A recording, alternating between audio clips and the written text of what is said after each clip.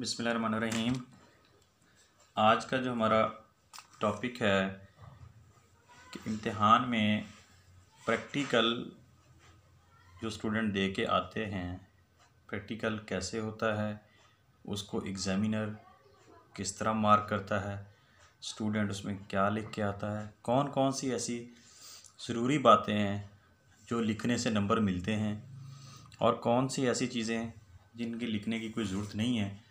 वो हम बताएँगे। अमूमन ऐसा होता है स्टूडेंट जो अहम बात लिखनी होती है, वो छोड़ आता है और इरेलीवेंट चीज़ जो पूछी नहीं गई होती, वो उसमें राइटअप कर आता है। फिर उसके जब मार्किंग होती है, जब कोई ज़रूरी कंटेंट रह जाता है तो फिर उसको उसके मार्क्स नहीं मिलते। फ़र्स्ट ऑफ़ ऑल जी, जिस तरह जो आपका जो है, जिस दिन आपका प्रैक्टिकल होगा आपकी रोल नंबर स्लिप के ऊपर मेंशन होगी वो डेट और सेंटर आप उस डेट देख के उस मुतलका सेंटर पे यानी जो लेबॉर्ट्री होगी स्कूल की, वहाँ पहुँचेंगे।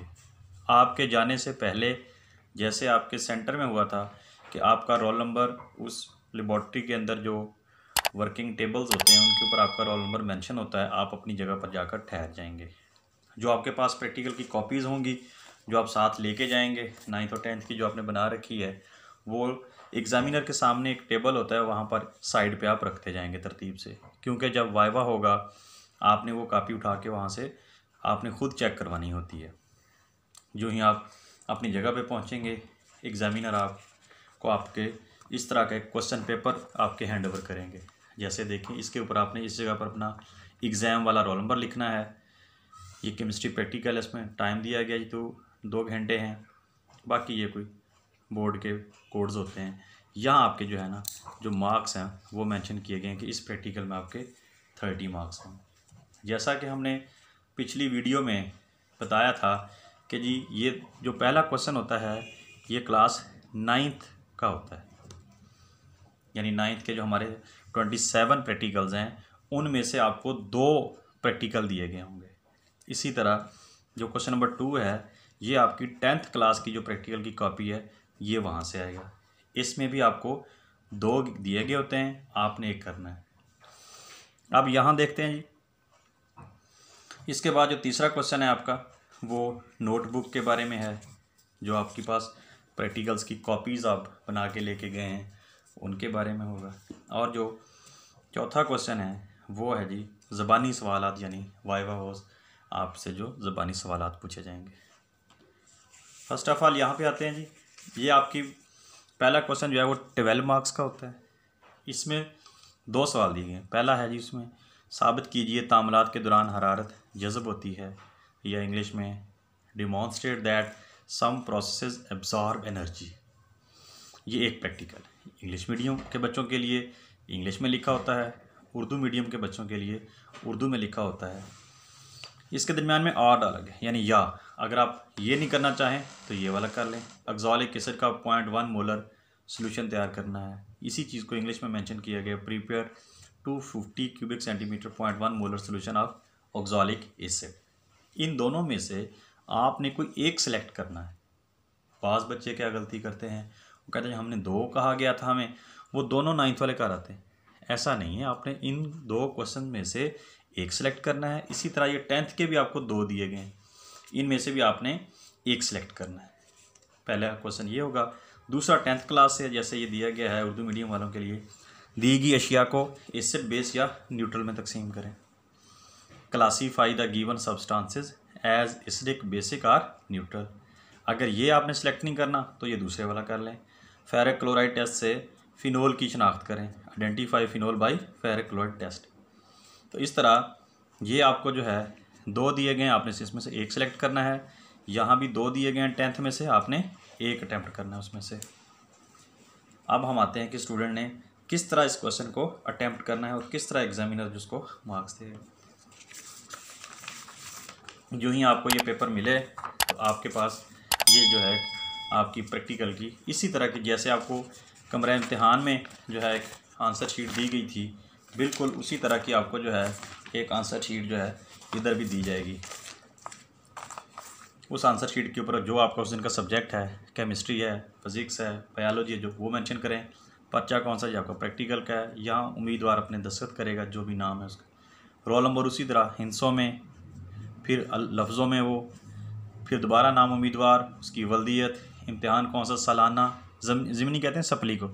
2020 नाम इम्तहानी सेंटर, जिस इम्तहानी सेंटर में आप, जिस लैब में आप प्रैक्टिकल देने गए हैं, वहाँ का नाम लिखना है।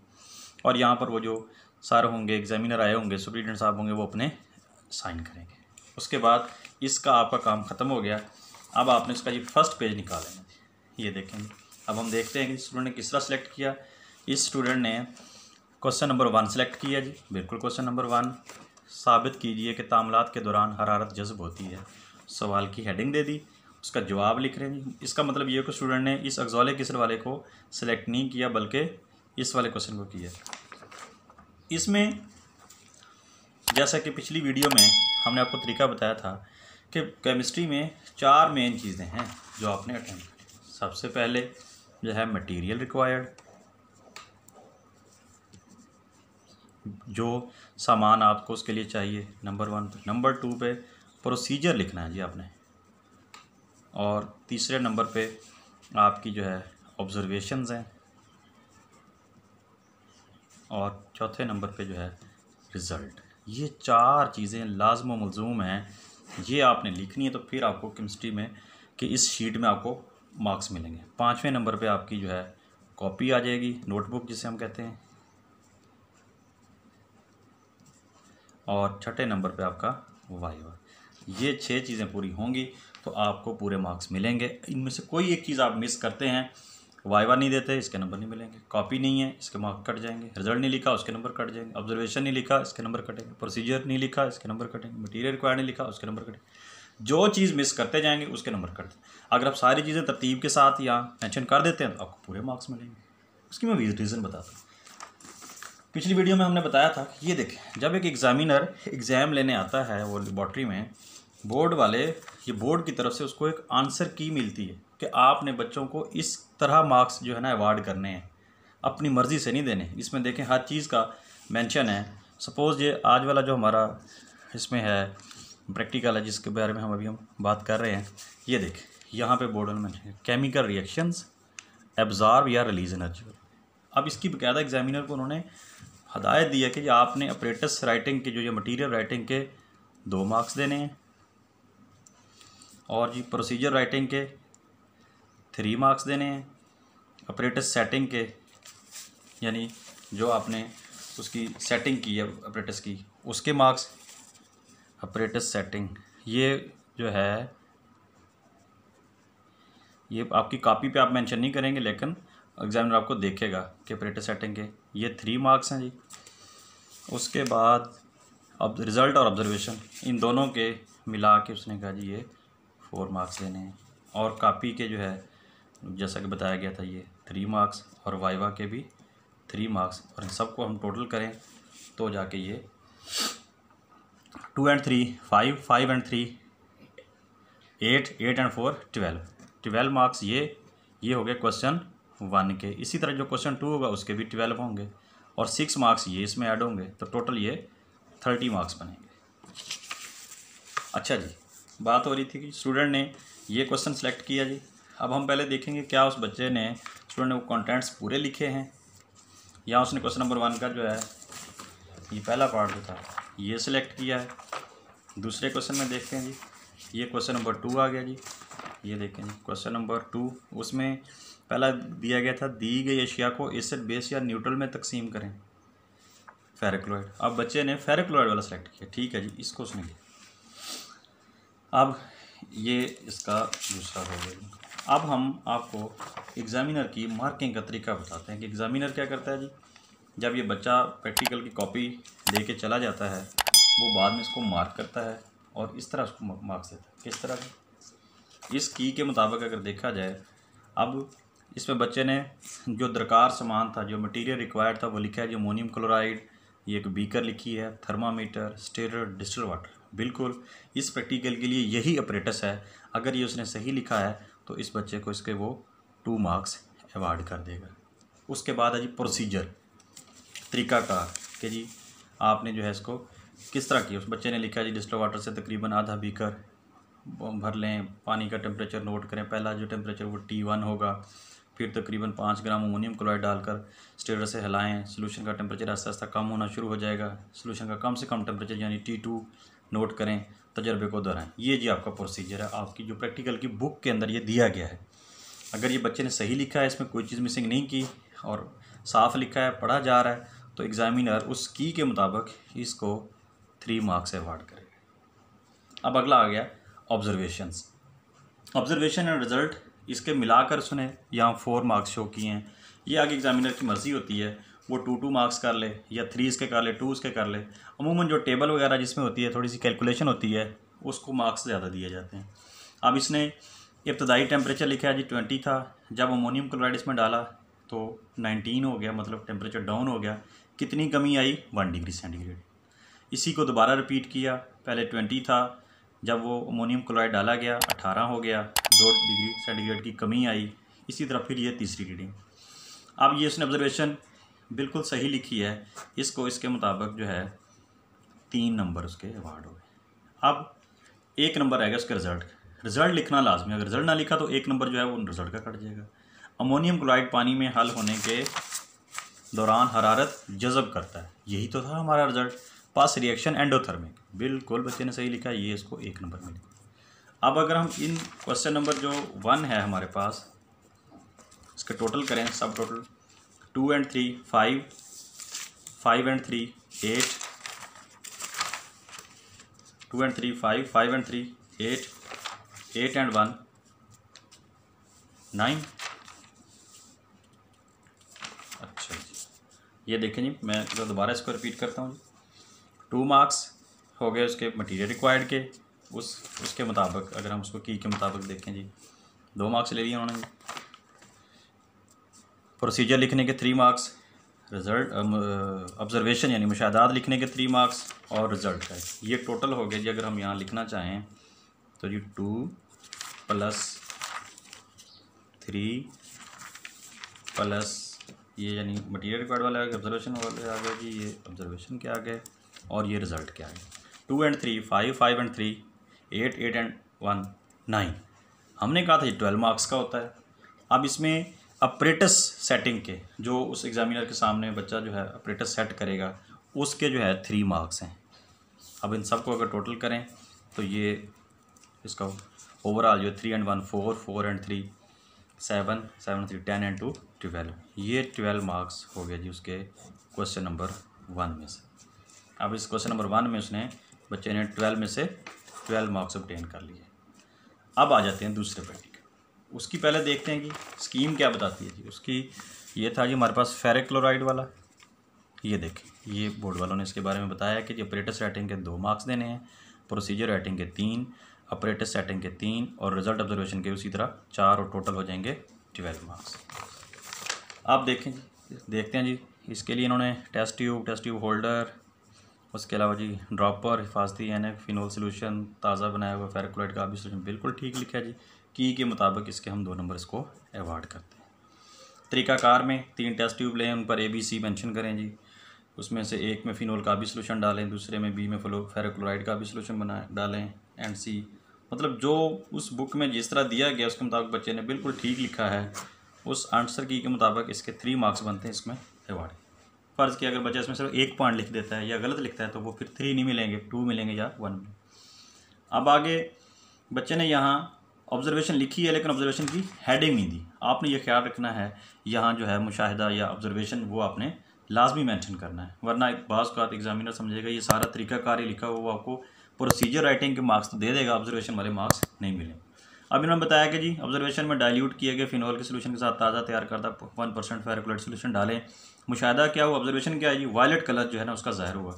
ठीक है जी, इसके जो है इसको, क्योंकि इसमें कोई कैलकुलेशन नहीं है तो टू मार्क्स अब इसका रिज़ल्ट फिनोल फेरोक्लोराइड के साथ अमल करके बनफशी रंग ज़ाहिर करता है, पास दिया गया कंपाउंड फिनोल है। ठीक है जी रिज़ल्ट ठीक है। तो इसके टू मार्क्स आए अब उसी तरह इसका जो है, सब टोटल करेंगे कि ये क्वेश्चन नंबर टू में हमने जी इसको दिए। टू मार्क्स हो गए मटेरियल रिक्वायर्ड के थ्री जो है प्रोसीजर के, दो ऑब्जर्वेशन के, फिर दो रिज़ल्ट के। टोटल करें two and three five five and two seven seven two nine और थ्री मार्क्स जो हैं ये अपरेटिव सेटिंग के हैं, जो आप प्रैक्टिकल कर रहे होंगे, जो आपकी परफॉर्मेंस एग्जामिनर देखेगा। तो अगर हम इसको टोटल करें तो ये ट्वेल्व मार्क्स बनते हैं। तो इस तरह जो है आपका ये क्वेश्चन नंबर टू में भी आपने ट्वेल्व में से ट्वेल्व मार्क्स ऑब्टेन किए सम टाइम इसमें अगर आप मटीरियल रिक्वायर्ड नहीं लिखते तो ये नंबर नहीं आपको मिलेंगे। प्रोसीजर नहीं लिखते तो ये थ्री नहीं मिलेंगे। आप ऑब्जर्वेशन में गड़बड़ करते हैं तो ये नहीं मिलेंगे। इस तरह नंबर काट। होते हैं अब क्वेश्चन नंबर वन और क्वेश्चन नंबर वन के भी ट्वेल्व थे क्वेश्चन नंबर टू के भी अब एग्जामिनर ने इन नंबरों को निकाल कर बाहर ये जो आपका मेन ऑब्स्ट्रैक्ट दिया गया यहाँ लिखना होता है। ये देखिए क्वेश्चन नंबर वन है। इसमें वो चेक करेगा जी इसमें ट्वेल्व मार्क्स थे। हाँ जी जी ट्वेल्व हैं जी। यहाँ ट्वेल्व मेंशन कर देगा। फिर क्वेश्चन नंबर टू में देखेगा कि बच्चे ने कितने मार्क्स ऑब्टेन किए हैं। ट्वेल्व वो यहाँ भी ट्वेल्व अब जैसा कि हमने देखा कि क्वेश्चन नंबर जो थ्री था, वो नोटबुक का था। एग्ज़ामिनर ने बच्चे की उस नोटबुक को चेक किया, उसको सारा, अगर वो सेटिस्फाई है, बच्चे ने सही काम किया हुआ है तो वो इसमें पूरे थ्री मार्क्स देने का पाबंद है और देता है।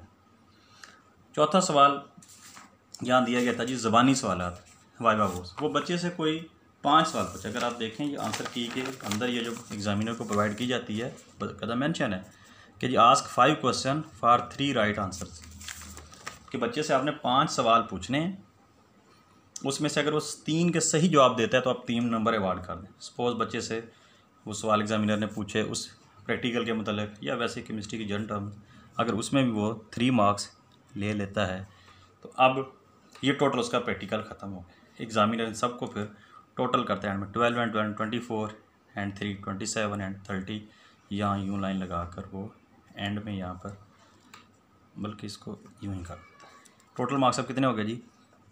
थर्टी और यहाँ फिर वो कहता है इन वर्ड्स वो यहाँ जी थर्टी मार्क्स यहाँ पर एग्ज़ामिनर को बोर्ड वाले को अपनी उसकी आईडी इशू करते हैं। वो अपनी आईडी लिखेगा और यहाँ पर जो भी उसके साइन है वो कर देगा। अब ये करके फिर वो एक अवार्ड लिस्ट होती है, जो उसको दी जाती है एग्ज़ामिनर को। वो उसके ऊपर आपके इस रोल नंबर के अगेंस्ट जो है ये थर्टी मार्क्स लिख के बोर्ड में भेज देते हैं। बोर्ड में जब आपके थ्योरी के पेपर चेक हो जाते हैं तो ये प्रैक्टिकल के अलहदा से चेक हो के आते हैं।